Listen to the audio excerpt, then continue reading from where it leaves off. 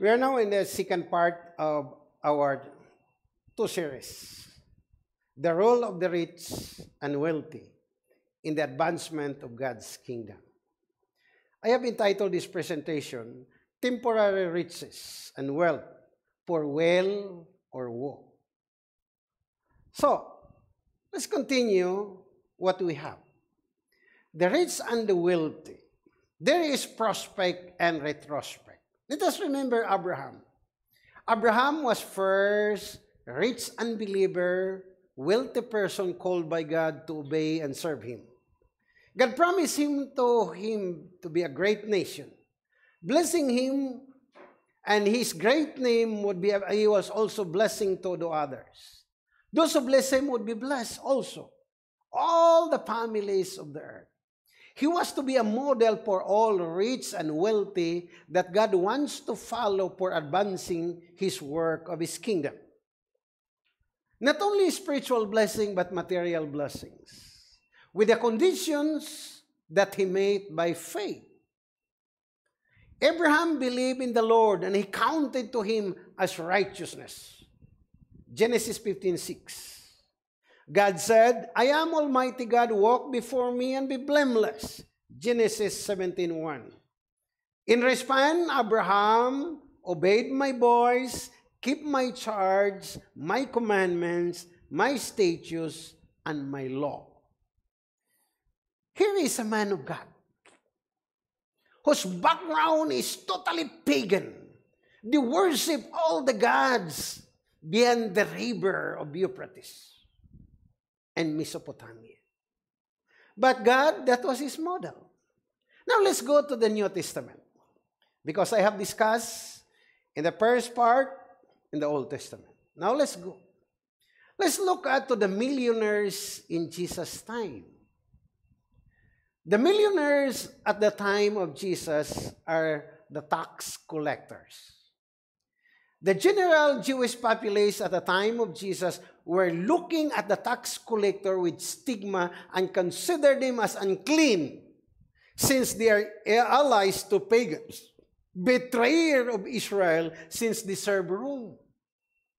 Much more with religious experts and leaders, the scribe and Pharisees. Thus, the common images of tax collector grimly negative. They were evil, greed, deceitful, for the charge more than what people owe. Therefore, judged already of no chance of entering the kingdom of God. The people were so mean to these millionaires at that time. So almost the same thinking today with the unchurched, rich, and wealthy people. But this view is not the whole truth. Rich people are misjudged misunderstood, maligned, and many are condemned. Matthew 5:46 says, But if you love those who love you, what reward do you? Not even tax collector do the same. Ah. For John came neither eating nor drinking, and they say he has demon. The Son of Man came eating, drinking, and they say, Look, glutton, and wine bibber are friends of tax collectors and sinners. Here we see, even the Lord who joined with the tax collectors because he loves everybody. Because he was the creator. And all the sinners are his creatures. But now, what happened? The religious leaders.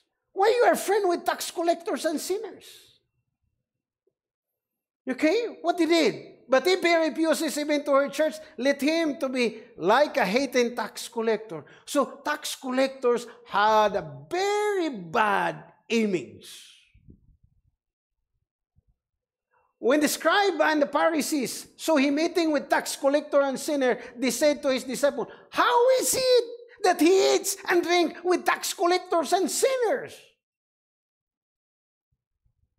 They have forgotten that Jesus came to find where is the lost, the sinner.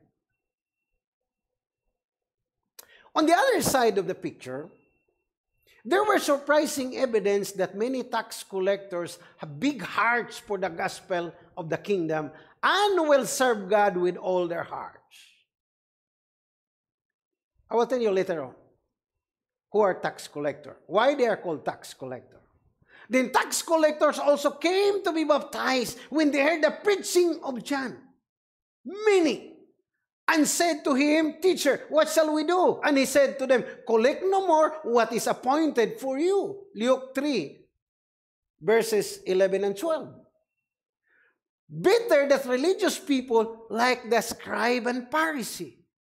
When all the people heard him, even tax collector justified God, having been baptized in the baptism of John, but the Pharisee and lawyers rejected the will of God for themselves, not having been baptized by him. Look. Beautiful pictures. Because they had been already misjudged. They are already condemned. Very difficult to enter of heaven. But look, they are lining in the preaching of John the Baptist. And that's why we cannot see, we cannot, uh, we cannot uh, understand we should never understand why Jesus did not. Because they listened to John. Converted millionaires enter heaven first. Wow, that's shocking. It's not the righteous who are scribe and Pharisees. Then all tax collectors and sinners draw near to Jesus and hear him. And the Pharisees and scribe complain, This man received sinners and ate with them. And what Jesus said? Jesus said to them, to the religious leaders who are hypocrites, As surely I say to you, tax collectors and harlot enter the kingdom of God before you. For John came to you in the way righteousness, and you did not believe him. But the tax collectors and harlots believe him. When you saw it, you did not afterward relent and believe him. Matthew 21, verses 31 and 32. This incredible picture at the time. And so he spoke this parable to some who trusted that they were righteous and despised others. Two men went to church. One Pharisee and one tax collector. The Pharisee stood and prayed with himself, God, I thank you. I'm not like other men, extortioners, and just adulterers. Even in this tax collector in my side, I fast twice a week. I give tithes of all I possess. And the tax collector, standing afar off, would not match, raise his eyes to heaven, and beat his breast, saying, God, be merciful to me. And Jesus tell them, this man went down to his house justified rather than the other. For everyone who exalts himself will be humbled, and he who humbles himself will be exalted human standard cannot be equated with heaven's standard. So we think people, tax collectors, candidates for hell. Who are the tax collectors? They are not the BIR. No. They are not the IRS in the US and other countries. No. Those who receive our tax? No tax collectors or publicans from Latin, publicanos or telones in Greek, were upper class of society. Put it in the modern parlance, they were the millionaires.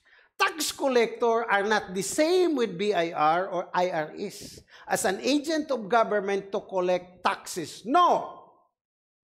They were not employees of Rome. They were auctioneers or buyer of taxes. In the time of Jesus, they were tax collectors. And they could have also a role of managing, of overseeing Roman projects under their contracts, supply military personnel, collect customs, poll tax, and others. They were contractors choosing among the upper class people, but not necessarily a ruling class. So, most tax collectors are buyer of taxes. So tax collectors, most of them, if not all, are already rich in their respective business because, because before coming to become a tax collector. Publicans won and air their office of position by public bidding at auction. Either that person would name the amount that he could collect and then he would pay that amount to Rome. For example, if I'm a tax collector and then this whole town, I want to know the bidding of the tax. Then I will bid. If I get the highest bid, I will pay that to the Emperor of Rome because he was a wealthy. That's why we find them, people were irritated. The religious people were irritated. Because, you know, human eyes easily to judge and condemn. Did they not know that what, how they, how measure others it will be measured back to them. Rich and wealthy disciples of Jesus. Rome treated the money as loan paid interest back to tax collector. If a tax collector collect more than the original amount he got, he keep it. The tax collector has a risk also. If his collection is less than what he expected to pay back eh, to Rome, then the tax collector pay the amount to Rome and he collect and he wants it. It was a millionaire business. Other tax collector collect exorbitant taxes. And many become more rich and wealthy. So Matthew and other not named tax collector follow Jesus. It is clear that Jesus called the rich and the wealthy in his kingdom. The same invitation is offered to God, those who are rich and wealthy today.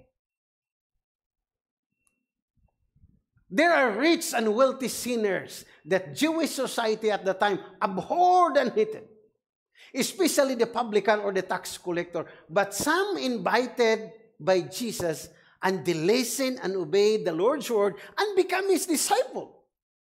And they in turn a great asset to God's work. Among others, name was Levi Matthew, the son of Alphaeus. He invited Matthew to follow him.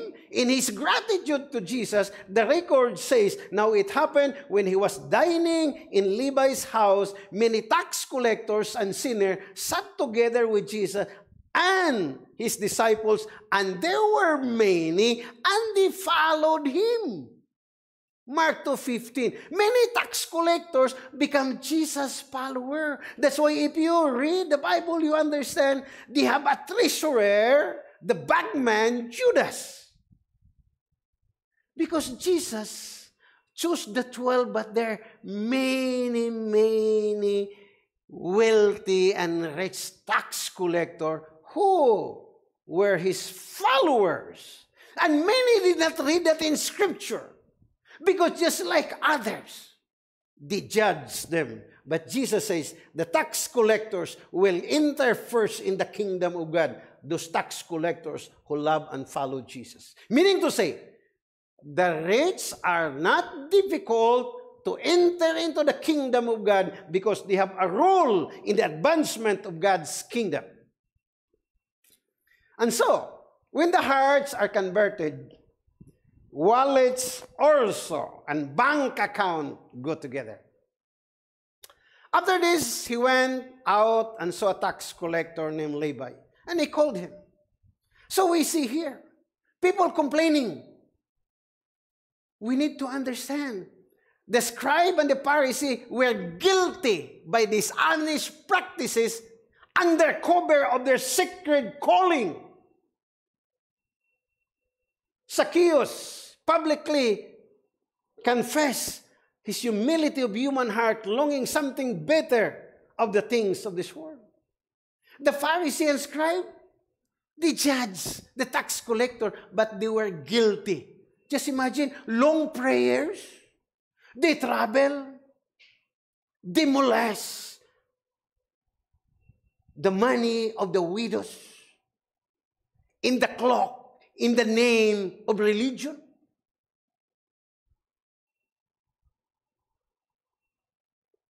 So Zacchaeus,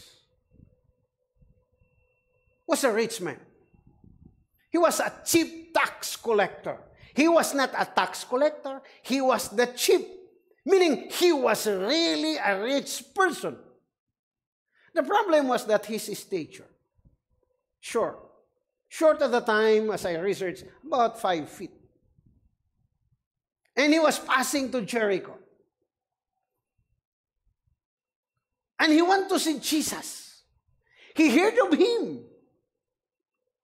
And so, the best thing, because people dislike him, ostracize him, already condemn and judge, he was helped by a sycamore tree.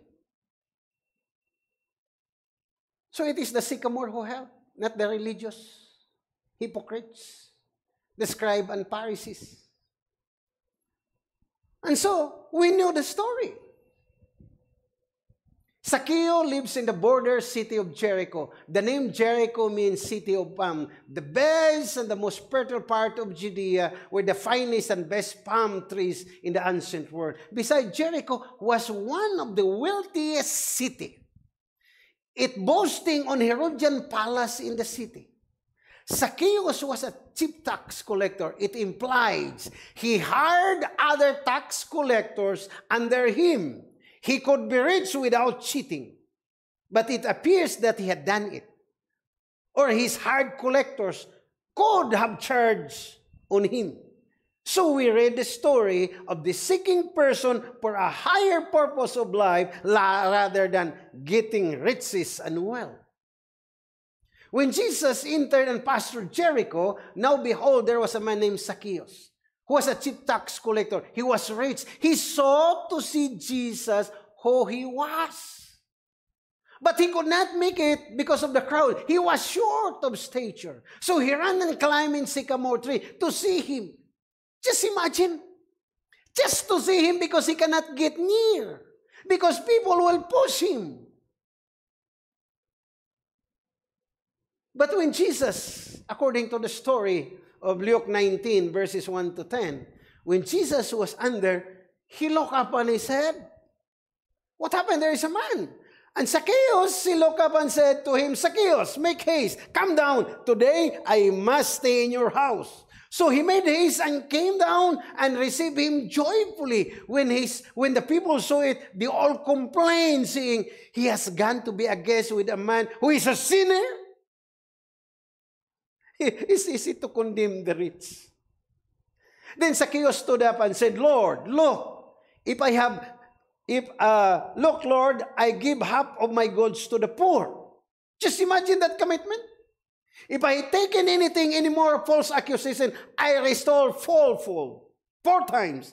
And Jesus said to him, Today salvation has come to this house because he was also the son of Abraham. So the Son of Man came to seek to save which was lost. Beautiful story. Incredible story. He can afford to pay four, four times because he was so rich. Money to him, riches to him, nothing compared to the joy of seeing eternal connected with the creator of the heaven and earth, his Lord and his Savior. Zacchaeus has a deep longing. Zacchaeus was exactly opposite to the rich young ruler who had a hardened heart. He heard the preaching of John the Baptist. He impressed his mind, exact timing was passing in his territory.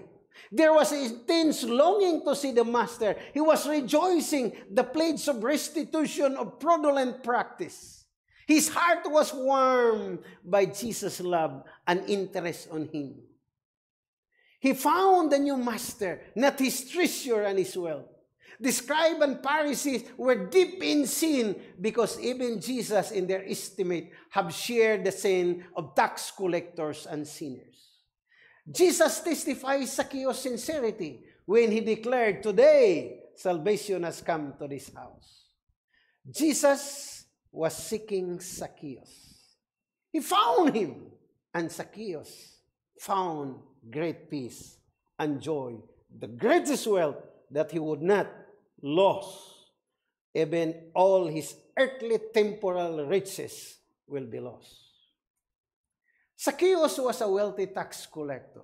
What he did with his wealth? Before faith and conversion, cheated citizen, abused the poor. But after faith or conversion, he repented, make in restitution. What is the lesson? Ill-gotten gain must be repaid. God saved and changes us all the way down to our pockets and banks account. Let's go to the third, second person, Joseph of Arimathea. He was asking Pilate of Jesus' body. Here is a rich man. Joseph of Arimathea appeared on the scene after the Lord. He was a silent follower of Jesus. Now when the evening had come, came a rich man from Arimathea named Joseph, who himself also became a disciple of Jesus. But silent. The silent follower, John record, Joseph of Arimathea, disciple of Jesus, but secretly because of the fear of the Jews. But after the death of Jesus, he became publicly bold and went to Pilate and asked the body of Jesus. He personally did it that a rich would not do. He had a linen cloth wrapped in the body of Jesus, used his private tomb near Mount Calvary or Golgotha or skull. It is interesting that I went to this place. And I went to Jerusalem. This is not a picture of Mount Golgotha. You can find a skull picture. But now, now, they cannot touch because that is rock, solid rock. But now, it is a term, bus terminal. It is outside the city of Jerusalem. Why I am interested with that? Because I took picture. Not only I took picture, but I went to the grave where Jesus was laid. Because this is the tomb of Joseph of Arimathea, where Jesus tra traditionally was buried. So I went inside. I stayed there with awe and wonder that my Lord and my Savior was buried in this tomb. Now, it fulfilled the prophecy. Matthew explained the body of Jesus was laid in a new tomb, which hewn by wood rock. At the time when you have a private cemetery, private tomb, you are wealthy. Because by digging alone in a solid rock, it means money, time, effort. So the rich man Joseph was a member of the Sanhedrin. He was of highest rank. What what he did with his wealth. Prepared his own funeral, donated his tomb for the burial of Jesus. Forsaking the treasure of earth kingdom, God will be rewarded. Our position are to be used for the glory of God. What an honor before God the Father and His Son, the King of universe. A rich man provided a place of royal burial. Hence foxes have holes and birds in the air have their nests, but the Son of Man has nowhere to lay his head. Luke 9:50. But what an eternal honor and glory when the prophecy was fulfilled by Joseph that they made his grave with the wicked, but with rich at his death because he had done no violence nor was deceit in his mouth. Isaiah 53. You know, when you are crucified on the cross, they will allow you to die. No need to be buried. That's why it says, they made their grave with the wicked. But here comes a rich man, high-ranking officer, who take the body of his master and his lord. So he was given a royal burial. Joseph of Arimathea. Note that Joseph of Arimathea's remarkable character. He was described as good, just man, member of Sanhedrin council who stood against that Jesus be sentenced to death. He was waiting the gods of God's kingdom. He was a secret disciple. He had the courage to ask the governor of Jesus' body and prepared a linen cloth, wrap his body. This linen were expensive, but it was wore by the priest, provided a tomb that never been used. He was rich, yet his riches was equal to his sterling character. Rich in everything before men, and above all to God. So there are many rich people who have the same motive in life to serve others and God, but don't know how. Let's go to the third. Nicodemus. He was a higher ranking. He came to Jesus at night. Why? Fear of the Jews. He was of high. Uh, he was a ranking officer. And he was he had the most coveted title, Teacher of Israel. And so he came to Jesus an interview in the evening. Nicodemus had a big name in Israel. He held high position of trust of the nation, highly educated, earned the noble title, Teacher of Israel. John 3, verses 1 and 10. Rulers of the Jews, Pharisee, so strict and pride himself of his good work. He spent his riches in the services of the temple. By the virtue of his birth as Israel, he regarded himself sure place in the kingdom of God. The pride of this man deterred him to believe the preaching of John the Baptist. As member of the Sanhedrin, he did not consent that would be sentenced, Jesus would be sentenced to death.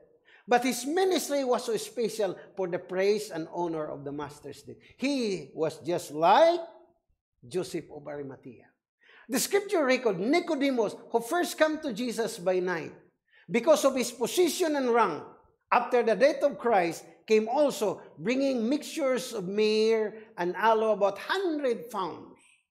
These are expensive perfumes for embalming, which along with a name rich women from Galilee who bought spices and fragrant oils. Luke 23, 55. Made such wonderful fragrance of the tomb of Jesus Distance did not matter, nor material things. Hearts are drawn to God's love. They express a lavish love for Jesus.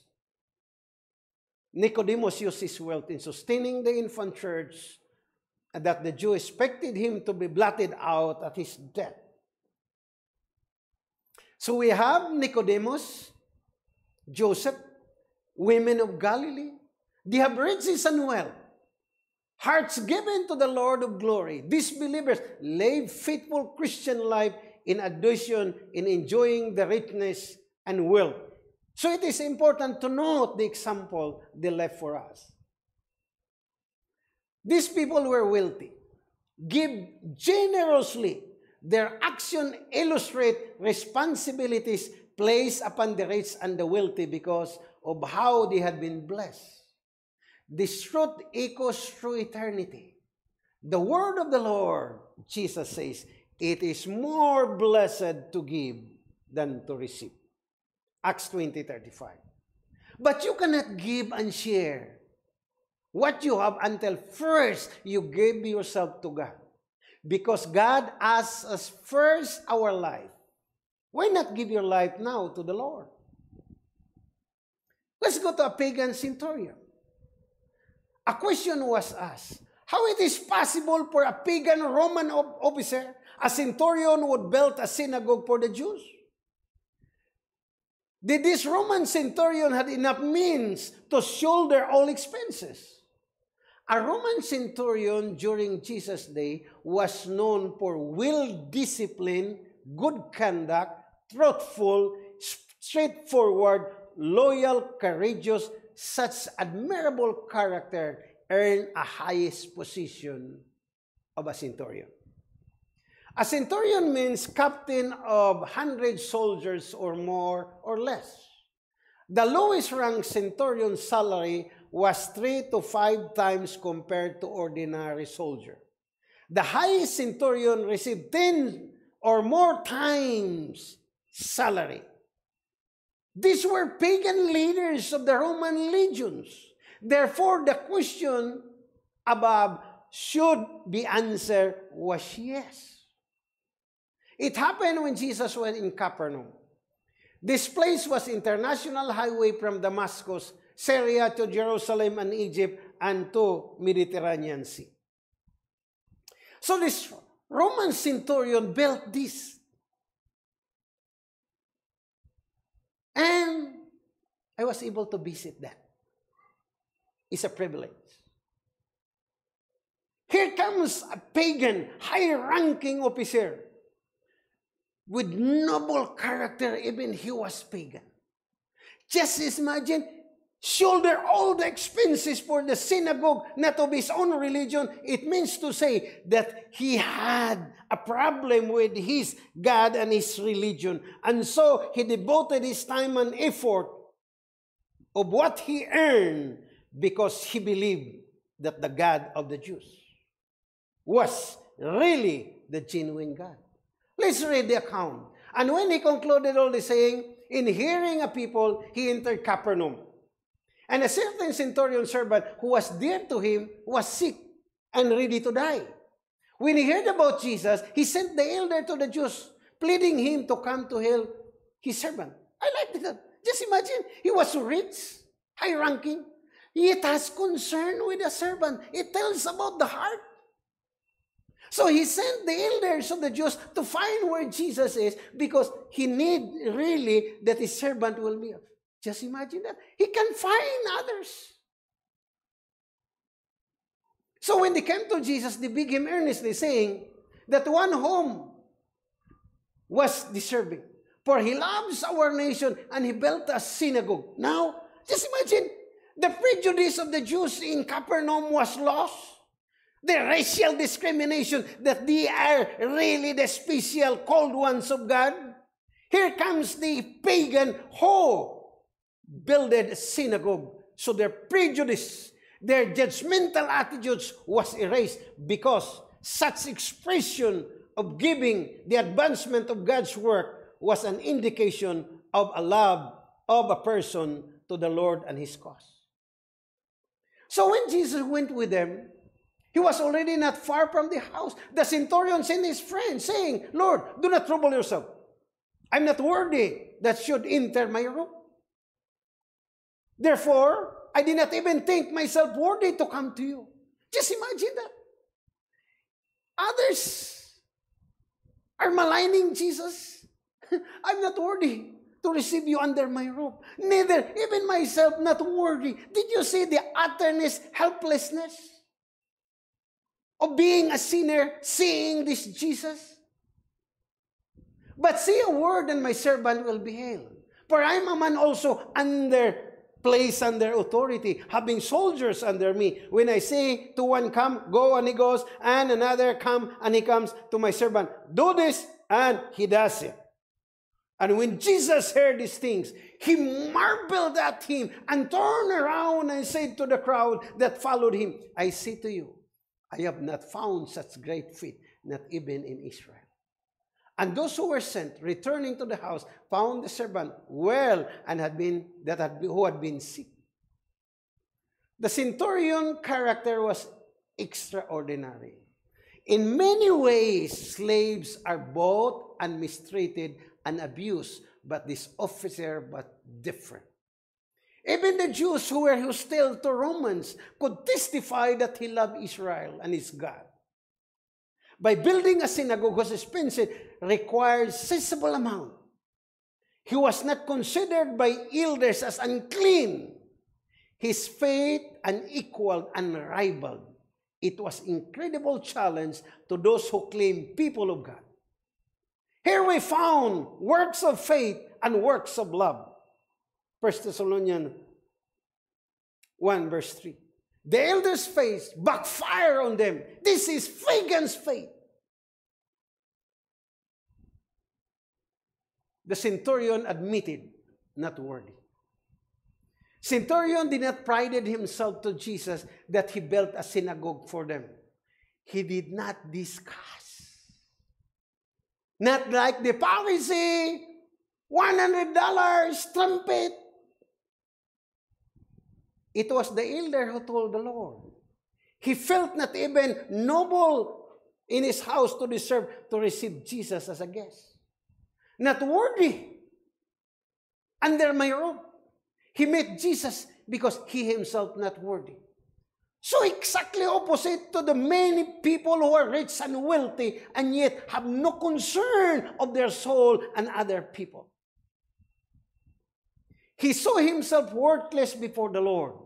Although he had already have a worthy works for providing house of prayer, praise for praise, for the honor of the name of the God of the universe.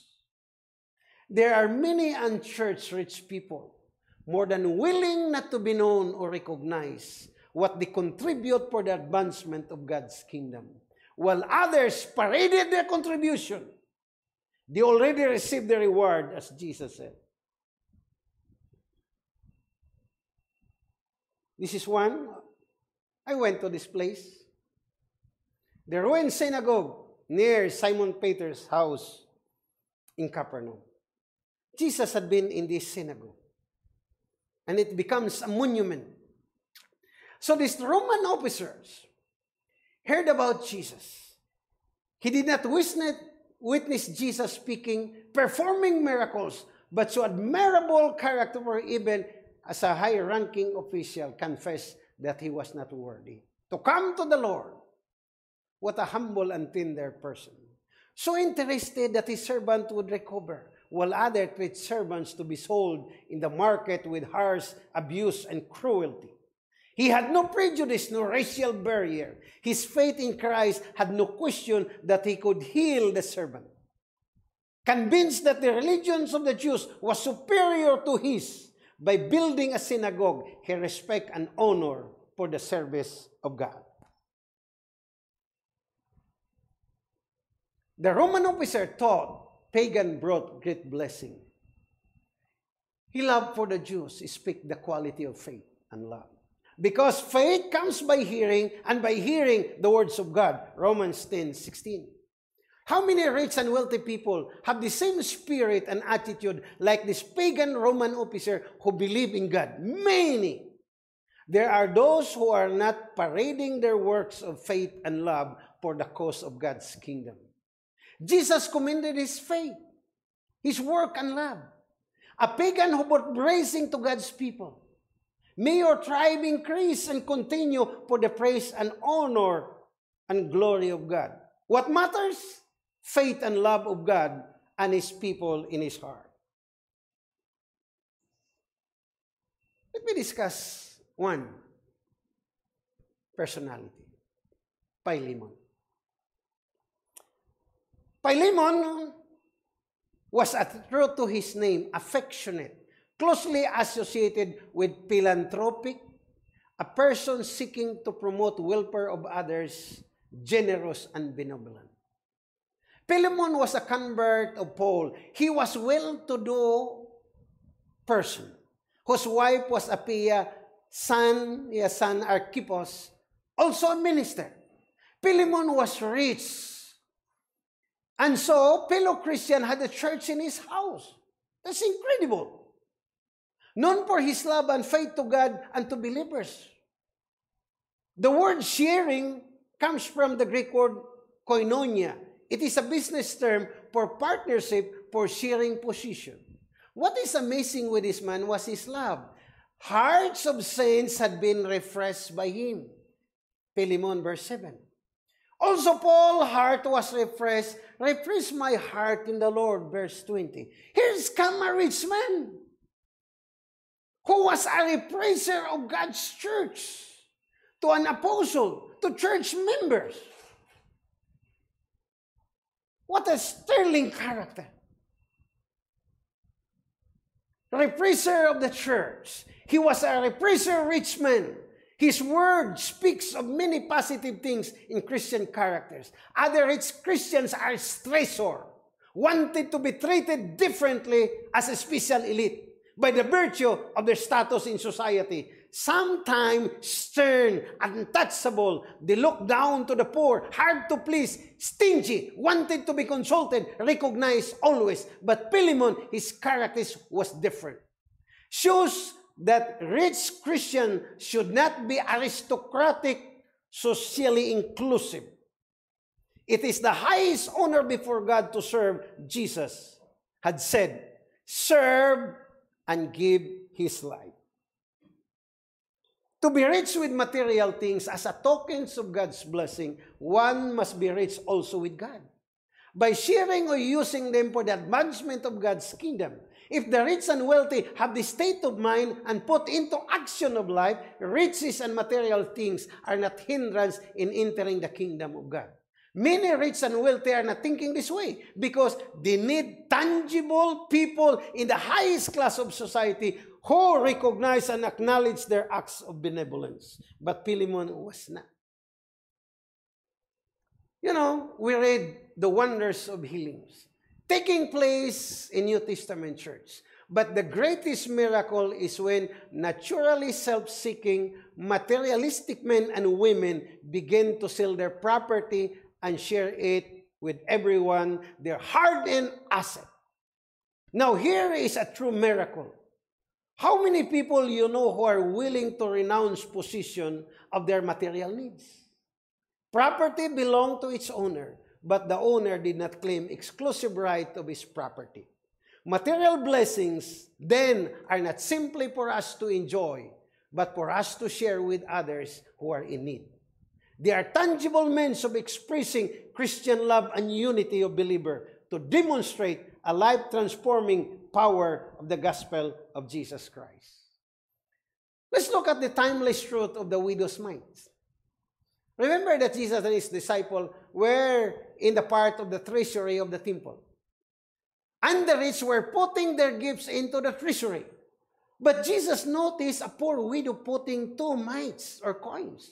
And he said, Truly I say to you, the poor widow has put in more than all of this out of their abundance, have put their offerings to God. But she, out of poverty, has put in the livelihood that she had.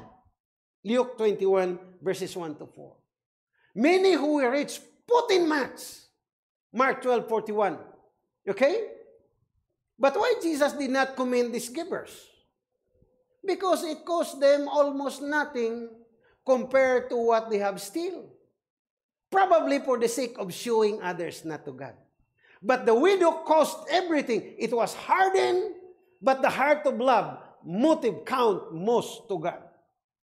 And so, she believed the cause of God. So by faith, she had a heart to give, although the amount is very insignificant. It was her last, yet believed that God used it would bless others. That they, other gifts, made a noise as they jingle into their receptacles. But the widow's mite were heard in heaven. This is where many rich and wealthy fail. God sees what men overlook. God loves a cheerful giver. 2 Corinthians 9, 7. You can be a cheerful giver when you know what has been received for the cause of God is received in heaven, according to Hebrews 7, verse 8. So, let me come to an end. We find rich people in the New Testament. I'm not done. We're going to part 3. There were so many rich people who responded to God's call in the advancement of His work in His kingdom on earth. Because they have understood that the temporal riches and wealth is passing away and it should be placed into the hands that is secure for eternity because they receive it from the giver the owner of the universe, and they are so grateful with their hearts, and return back for his praise and honor and glory. So, either for woe or will, rich and wealthy, be rich and be wealthy also in God, in the advancement of His kingdom. This is the message that the Bible. It is not hard for the rich to enter into the kingdom of God when the heart is longing something better that riches and wealth cannot satisfy. Looking things because material things, temporals, do not stay forever. Only a good character that is blessed by God. May you rich people and wealthy join the call of God in working the advancement for His kingdom. And you will see how important is your role, significant is your role in finishing God's kingdom on earth and it will end with praise and glory when Jesus come and rewarded you with eternal riches because you trusted in him. This is my prayer.